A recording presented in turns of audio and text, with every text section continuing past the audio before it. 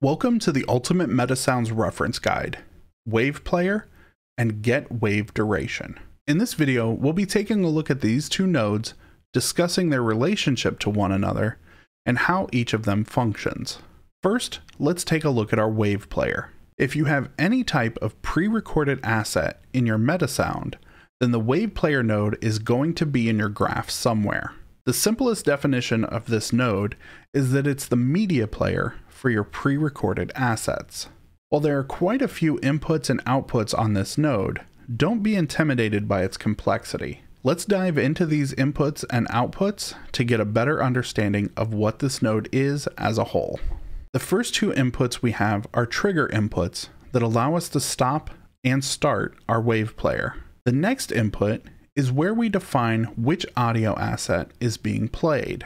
This can be a single asset, or we can use a few other nodes to pull from an array of assets like a sound bank. The start time allows us to set the starting point of the wave in case we want to start somewhere within our asset rather than right at the beginning. The pitch shift allows us to adjust the pitch of our audio asset using a float value.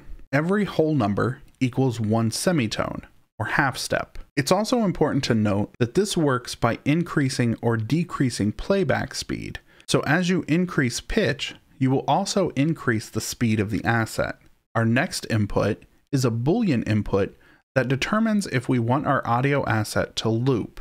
If this is selected, once your audio asset has finished playing, it will play again without the node needing to be re-triggered. It's also important to note that when the audio asset is looped, the next time it plays, it will start from the beginning, regardless of the value entered into the start time input.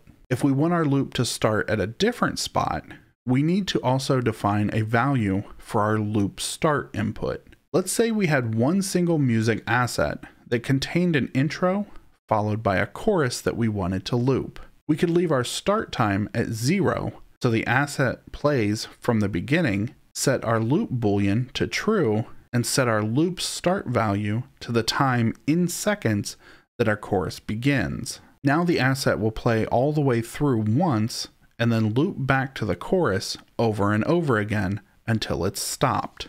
The last input is our loop duration. By default, this value is set to negative 1, meaning that regardless of where the loop starts, it will play from that point to the end of the asset. By changing this value, we can define how long the loop will play before returning back to the start of the loop. Using some arbitrary numbers, let's say our musical piece has an intro that's 10 seconds, a chorus that's 10 seconds, and then a verse that's also 10 seconds, for a total duration of 30 seconds of music. Using the loop start set at 10, and our loop duration also set at 10, our asset will play through the entire piece, then loop back to where the chorus started, and continue to loop just that chorus. Now let's move over to the output side of the node. The first five outputs we have are trigger outputs that allow us to pass through an execute signal based on certain points of playback. On play will execute the moment the node is activated. On finished allows us to output a trigger when the wave player node has stopped. I should point out that if your node is set with loop enabled, even though the wave asset itself may have finished playing through once and starts playing again, the node as a whole is still active and will not trigger an event. If we wanted to instead initiate a trigger when the asset is looped, then we have a trigger output especially for that. Jumping back up one to our on nearly finished output, we have the ability to execute a trigger when the audio asset is almost done playing. The time between on nearly finished and on finished is extremely small.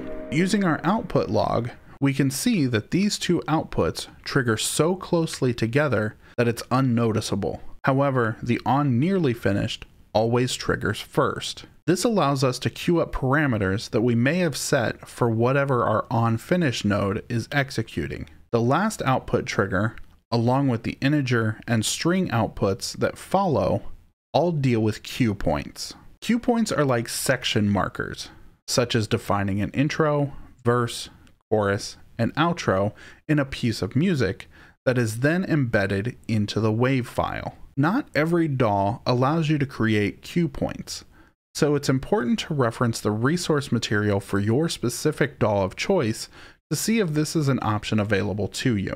If you are able to create these cue points, then this node will allow you to utilize them in a couple different ways. We can trigger an event each time we pass a cue point. We can output the number associated with our cue point, like a chapter, and if we've named our cue points in our DAW, then we can also retrieve that name and send that value out as a string. The loop percentage outputs a float value between 0 and 1 and tells us the percentage of the loop that has been played. If you've defined a loop start, this value will return to 0 even though we may have started our loop 10 seconds into our full audio piece. The playback location works very similarly but returns the playback percentage based on the duration of the entire piece rather than just the loop section. The last two outputs we have are our audio outputs. This is what sends the audio signal to the next node,